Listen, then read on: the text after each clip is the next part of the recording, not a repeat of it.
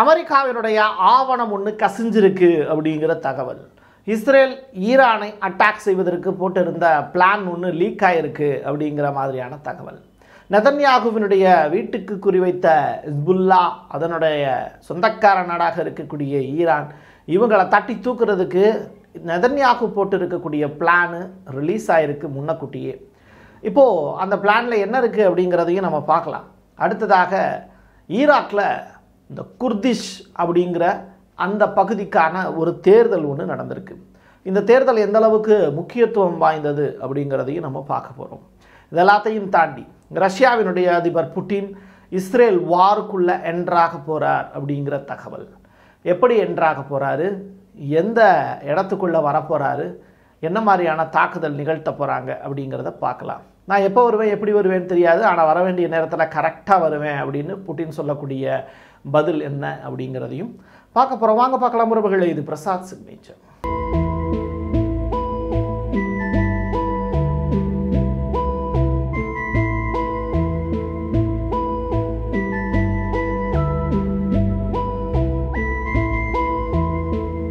Five eyes இந்த countries பற்றி நீங்கள் கேள்விப்பட்டிருப்பீங்க. ஐந்து கண்கள் கொண்ட நாடு.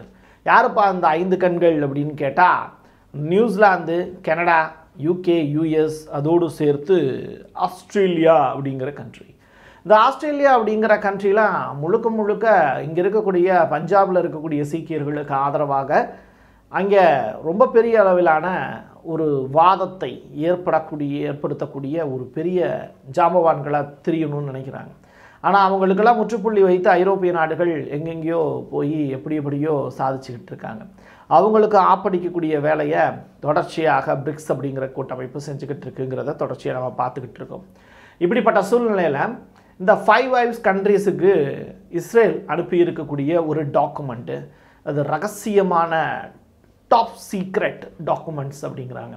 அது ரிலீஸ் ஆகிருக்குங்கிறாங்க அப்படி என்ன அந்த டாக்குமெண்ட்டில் இருக்குது அப்படிங்கிறது ரொம்ப முக்கியத்துவம் வாய்ந்தது. ஸோ இது அமெரிக்காவிலேருந்து லீக் ஆகிருக்கு அப்படிங்கிறாங்க. அமெரிக்காவிலேருந்து லீக் ஆகிருக்கா இல்லை அமெரிக்காவே லீக் பண்ணியிருக்காங்களா? அப்படிங்கிறது.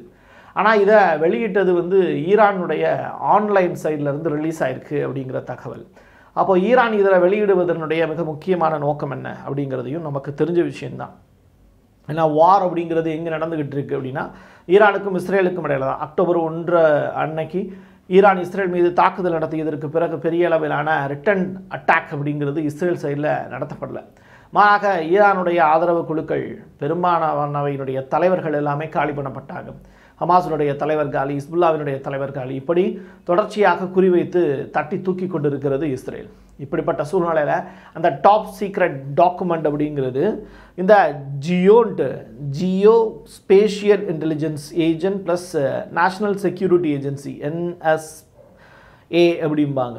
இந்த டீமில் இருந்து ரிலீஸ் ஆகிருக்கு அப்படிங்கிறாங்க. இவங்களுக்கு தெரியாமலே ரிலீஸ் ஆகிருக்கு அப்படிங்கிறாங்க.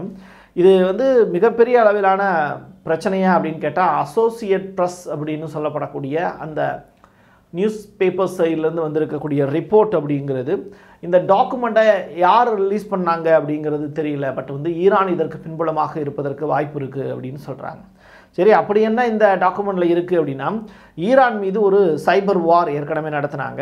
ரெண்டு ரகசிய ஆவணங்கள் கசிஞ்சிருக்கு. என்னென்ன ஆயுதங்கள் வச்சுலாம் தாக்கணும் எந்தெந்த ஆயுதங்கள் வச்சுலாம் தாக்கக்கூடாது அப்படிங்கிறத இஸ்ரேல் வந்து பட்டியலிட்டிருக்கு. இதன்படி தான் நாங்கள் ஈரானோடு போர் புரிய போகிறோம் அப்படின்னு அமெரிக்காவுக்கு லெட்டர் அனுப்பிச்சிருக்காங்க.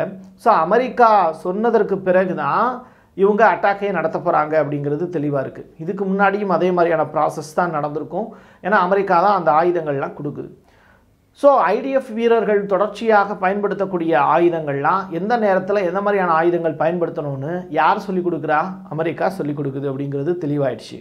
ஸோ தாக்குதலுக்கு ஒத்திகை பார்க்கக்கூடிய சேட்டலைட் இமேஜஸ்லாம் வெளியாகிருந்தது ஸோ எந்த ஏரியாவில் வச்சு அட்டாக் நடத்த போகிறோம் எந்த டேட்டில் அட்டாக் நடத்த போகிறோம் அப்படிங்கிறத அமெரிக்காவுக்கு சொல்லிட்டு தான் இஸ்ரேல் செய்கிறாங்கங்கிறதும் இந்த ரெண்டு அகசி ரகசிய ஆவணங்கள் மூலியமாகவும் தெளிவாகுது. உண்மையை உறக்க சொல்ல வேண்டிய நேரம் அப்படிங்கிறது நெருங்கிருச்சு இந்த செய்திகளை படித்து பார்க்கும்போது.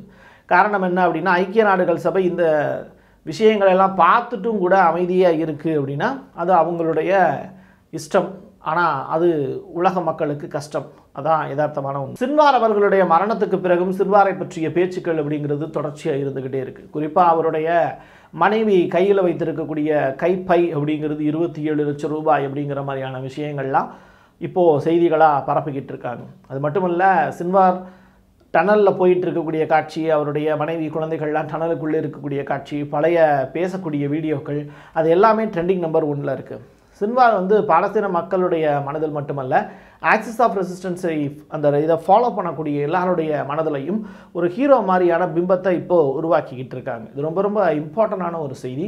இஸ்மாயில் ஹனியேவுக்கு கூட இந்த மாதிரியான பெருமைகள் புகழ் வந்து கிடைக்கல. ஒரு குச்சியை வைத்து தொடர்ச்சியாக சாக போகக்கூடிய நேரத்தில் கூட அந்த குச்சியை தூக்கி ஐடிஎஃப் வீரர்களுடைய ட்ரோன் மீது வீசியது அப்படிங்கிறது அவருக்கு இருக்கக்கூடிய நெஞ்சுரத்தை பெரிய அளவில் பிரதிபலிக்கக்கூடிய கண்ணாடி மாதிரி அந்த வீடியோ வெளியாயிருக்கு. அது இஸ்ரேலுடைய ஐடிஎஃபே தெரிஞ்சோ தெரியாமலோ அந்த வீடியோவை வெளியிட்டு சின்வாருடைய புகழையும் ஹமாசனுடைய பெருமையையும் வெளியில் பரப்ப ஆரம்பிச்சிட்டாங்க.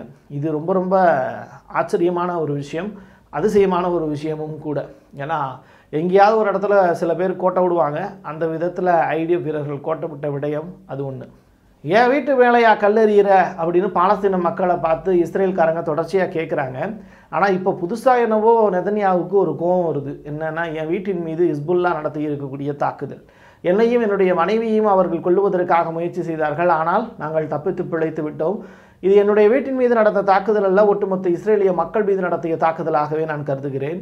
ஆக்சிஸ் ஆஃப் இவில் அதாவது ஈரானா அவர் அப்படித்தான் சொல்லுவார்.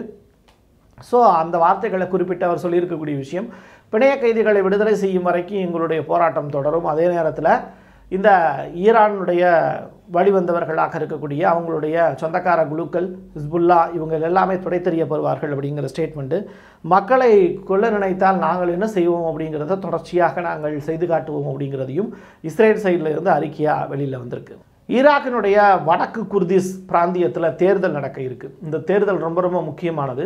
இந்த குர்திஸ் அப்படிங்கிற அந்த மக்கள் இன மக்கள் அவங்க துருக்கிக்கு எதிராக போராட்டம் பண்ணுறாங்க ஈராக்கில் ஒரு குறிப்பிட்ட சமூகத்தினர் வாழ்ந்துக்கிட்டு இருக்காங்க. இவங்களுக்குன்னு ஒரு எலெக்ஷன் கண்டக்ட் பண்ணுறாங்க இதில் மொத்தமாக நூறு உறுப்பினர்களை தேர்ந்தெடுக்கிறாங்க நூறு எம்பிஸ் அதில் வந்து பார்த்திங்கன்னா ஒரு பிரைம் மினிஸ்டர் ஒரு பிரசிடெண்ட்டு ஒரு சபாநாயகர். இந்த மூன்று பேரையும் தேர்ந்தெடுப்பதற்கான வாய்ப்புகள் இந்த தேர்தலில் கிடைக்க போகுது.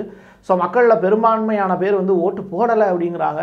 ஓட்டு போட்டவங்களில் வச்சு அந்த நம் மூன்று முக்கியமான தலைவர்களையும் தேர்ந்தெடுப்பதற்கான வாய்ப்புங்கிறது குர்திஸ் மக்களுக்கு கொடுக்கப்படுகிறது. ஹிஸ்புல்லாவினுடைய உளவுத்துறை தலைமையகம் மீது பெரிய அளவிலான அட்டாக்கை இஸ்ரேல் நிகழ்த்தியிருக்காங்க. ஏற்கனவே பெலாரஸ் மீதும் தாக்குதல் நடந்திருக்கு. அது மட்டுமல்ல பெல்ஜியம் வீரர்கள் டைரக்டாக லெபனானில் வந்து போரிட்டுக்கிட்டு இருக்காங்க. இஸ்ரேலுக்கு ஆதரவாக இப்படிப்பட்ட சூழ்நிலையில் ஒரு பெரிய வார் ஒன்றுக்கு இஸ்ரேல் ரெடி ஆகிட்டுருக்கு எல்லை தாண்டிய ஒரு போர் அப்படிங்கிறதுக்கு அந்த வகையில் லெபனானை முழுவதுமாக கைப்பற்றக்கூடிய வேலையை அமெரிக்காவினுடைய ஆதரவோடு செஞ்சுக்கிட்டு இருக்காங்க. ஸோ இப்படிப்பட்ட நிலையில் இந்த தாக்குதலில் ஹிஸ்புல்லாவினுடைய மூன்று முக்கிய தளபதிகள் கொலை செய்யப்பட்டிருக்கிறார்கள் அப்படிங்கிற செய்தி ரிலீஸ் ஆயிருக்கு. பிரிக்ஸ் மாநாட்டில் ஈரானுடைய அதிபர் பெஜஸ்கியான் கலந்து கொள்ளப் போகிறார். புட்டினை இரண்டாவது முறையாக அவர் சந்திக்கப் போகிறார் அப்படிங்கிற முக்கியமான விஷயம். ஈரான் அப்படிங்கிற நாடு பிரிக்ஸ் ப்ளஸில் ஒன் ஆஃப் த மெம்பர் அப்படிங்கிற மாதிரியான விஷயங்கள் எல்லாம் உங்களுக்கு தெரிஞ்ச விஷயம். நம்ம பிரசாத் சிக்னேச்சர் தொடர்ச்சியாக அது மாதிரியான செய்திகளை பதிவு செஞ்சுக்கிட்டு தான் இருக்கும்.